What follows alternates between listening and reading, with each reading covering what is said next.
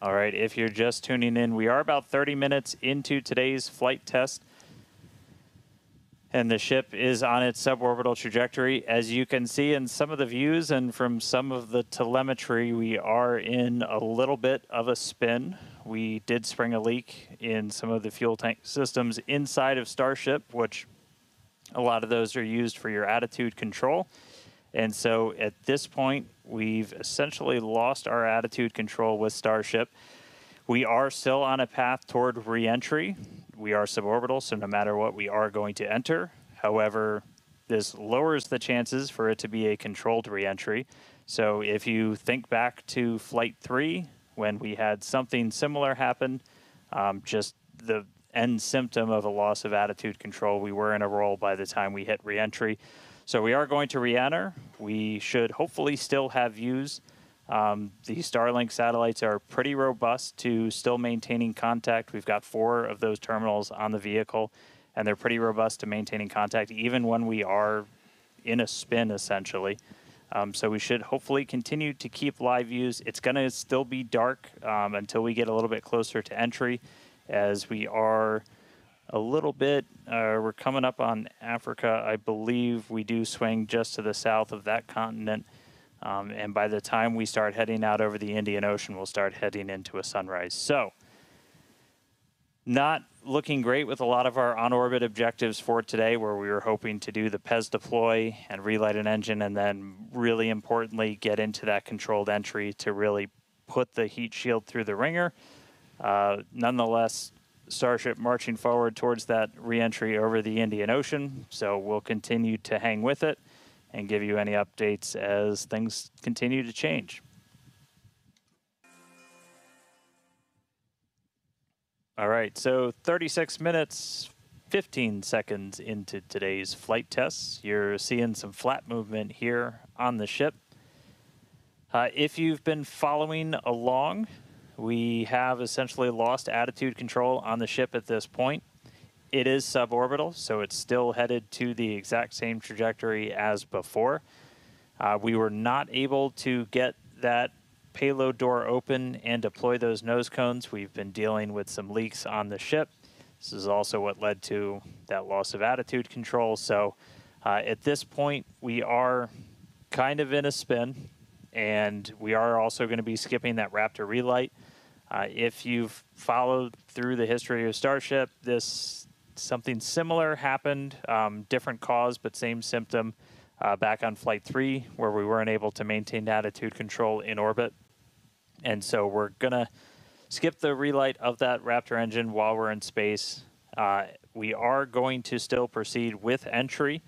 Uh, but as we are not able to control the attitude of the ship, as we get into entry, it will enter in whatever orientation it is in at the time, uh, which does not bode well for the ship's heat shield, uh, as we're we're not going to be essentially aligned the way that we want to do for reentry. So uh, it is definitely coming down.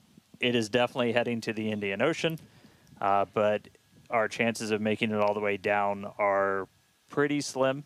Um, so we'll still get as much data as we can. We're still getting live telemetry, live views from Starlink the entire time, uh, and we'll continue to stick with ship as it continues on. We are about 10 minutes away or so uh, until we start getting into entry, and the light will start to pick up as we cross the Indian Ocean, uh, and we'll start to see a little bit more daylight, and we'll, as always, as long as we maintain that com link, get some plasma on the way in and start to bring the Starship back through the Earth's atmosphere. So that coming up in about 10 minutes or so. So we'll check back in with everybody in a little bit.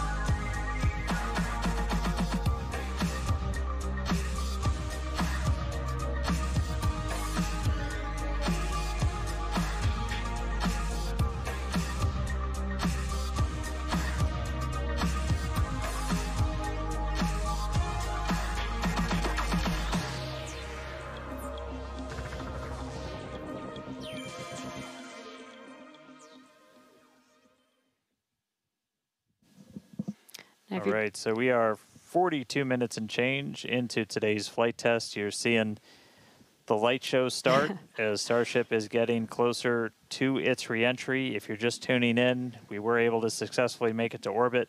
Run into a couple of issues as we've coasted to our entry point over the Indian Ocean. At this point, we had lost attitude control of the ship and entered into a spin. The team made the call to do what's called passivate the vehicle. So we're essentially venting all of the remaining propellant overboard, and it's going to make an uncontrolled reentry. Important to note, this is a contingency that is planned for, and we clear the zones in the Indian Ocean where these entries could take place. Um, so we're not going to come down exactly where we would have had nothing happened, uh, but we do clear a tremendous amount of uh, space out in the Indian Ocean um, in the event that we run into this. You always we we understand that there are always risks, essentially with these flight tests with the hardware, uh, but we don't really accept any compromise when it comes to protecting people. And it is uh, one thing to note is we will actually still re-enter in our, our, planned airspace zone, which is good. That that is exactly what we uh, planned for. You know, we do plan for if something does go a little bit off nominal, uh, that we have enough airspace cleared out for situations just like this. Yeah, reentry is still just that really critical phase that we need to try and gather as much data, as much information as possible. Is a fully reusable heat shield has never been flown before, history of space flight, and that's that's a that's something that Starship still has to crack. And so we had a whole range of experiments on this one. Um, at this point, and we just started to lose some of our cameras, so it's very possible that we'll start to stop, start to lose contact with Starship um, a lot sooner than we would have if it was a nominal reentry. Um, so we are expecting it to break up essentially on its reentry over the Indian Ocean. So not able to do a lot of our on orbit objectives today, uh, but just the fact that we, you know, got it into space was just that was just a really big moment for a lot of the team. Yeah, and another thing to note is that Super Heavy did fly for its second flight today. It first flew on flight seven, and it made it all the way to uh, our shutdown of all the engines and stage separation, getting ship into its suborbital trajectory today. Um, it did ignite its uh, 13 engines, but it did demise uh, at that point. Uh, we did plan to uh, fly it back down to Earth at a higher angle of attack, and we do uh, expect it to stress the vehicle a lot more than what we've seen previously. So it's not unexpected that we did lose the booster before we got to the actual landing. Yeah. So we're gonna we're gonna continue to hang out and see if we get any updates on ship. It does look like we might be getting some video back soon. There we go. So this is a view essentially on the top part of Starship. You're looking up at the payload bay and towards the nose cone. So uh, views are going to be a little bit scarce potentially as, again, we are in essentially a tumble. We had lost that attitude control. Um, so Starlink, when it's able to connect, able to feed this down. Uh, we are at the phase where we would expect entry to start uh, within the next minute or so. So we are entering uncontrolled, but again, we're entering into an airspace and a sea space that is cleared and monitored in advance of launch and before we get to this phase. And with the views that we are able to see, you are seeing a lot of that plasma build up. Uh, during reentry, we do expect the vehicle to see about 1400 degrees Celsius, and there you can see the, the flap uh, feeling that temperature there, uh, a little bit melting away. Uh, but as we expected with the uh, spinning of the vehicle. We are no longer controlling the attitude of the vehicle. So this is now at this point in the, the test flight, it is expected uh, to see it begin to uh, demise a little bit on its way back down to Earth. Yeah, and so we'll we'll stick with it for as long as we're kind of getting any reach back from the ship as it starts to make this reentry. Uh, but yeah, so it, it'll it's re-entering actively right Yep. now. Um, and again, we did do what's called passivation. So you essentially vent all of your excess propellant overboard before you hit the atmosphere. Um, that's a safety measure we can take on the ship while you still have contact with it. Um, so that was done. It's now coming down in the predetermined hazard area that was cleared ahead of flight. Um, not controlled, so we're not going to get all of that reentry data that we're still really looking forward to.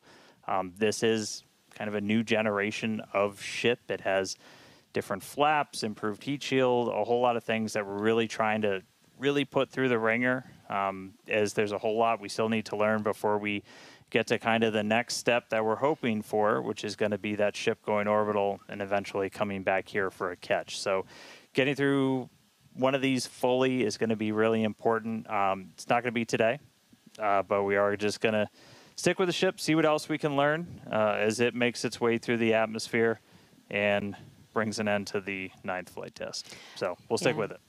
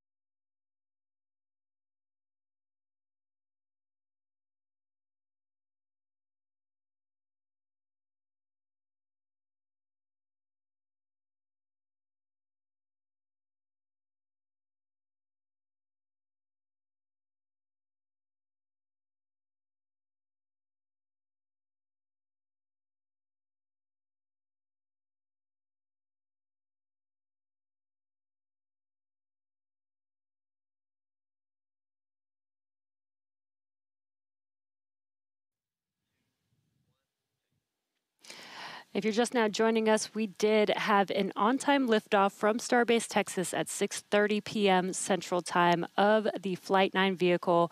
We did have some incredibly stressing objectives today. Uh, the Super Heavy booster flew for its second flight. Uh, it first flew on Flight 9 and made its way to take ship all the way up to stage separation, uh, doing its first second flight ever, which is pretty incredible. Uh, we did lose the booster on the way back down as we did uh, fly it back down at a higher angle of attack. So, as expected, we did um, have it demise on the way back down. Yeah, Uh, we were able to get all the way to that landing burn though. So we made it through that higher angle of attack. So lot of great data that's going to help us improve those future booster flights. Yeah, we did do the directional flip and it worked. Yep. It was actually Flipped a great right view direction. that we saw. Um, and then ship continued six healthy Raptor engines in the beginning of its flight, making it all the way to SECO and coasting for quite a while. Uh, we made it to uh, the expected time that we would open up the payload door. Uh, unfortunately, the door did not open as we expected it to, so we did not deploy the eight Starlink satellites. Yeah, we ran into a couple of issues once ship got there, but I can tell you it was a pretty crazy moment for a lot of the people that were standing here for ship to make it there.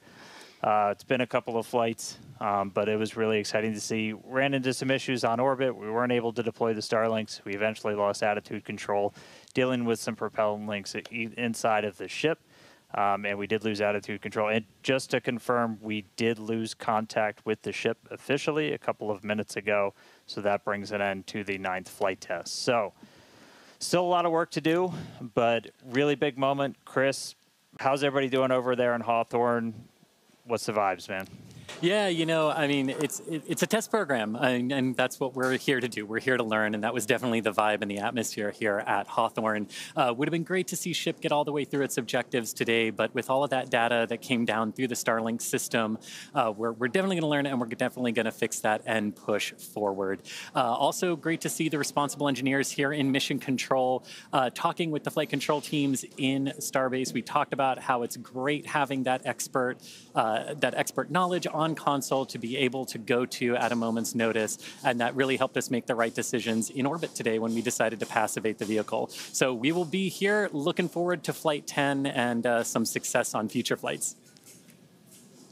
All right. Well, obviously, congratulations to everybody that poured so much time, effort into getting this ship, this rocket off the pad. It the last two months have been an absolute like gauntlet for a lot of people and we're continuing to learn more about this ship about this rocket.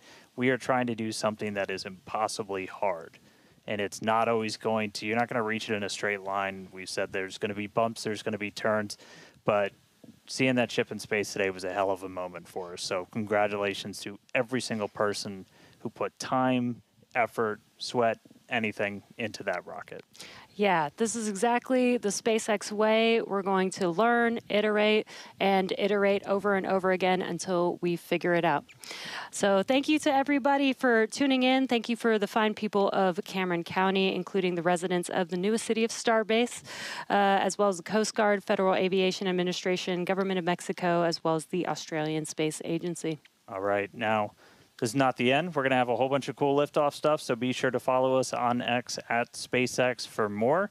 And we will see you back here for Flight 10. Thanks for tuning in.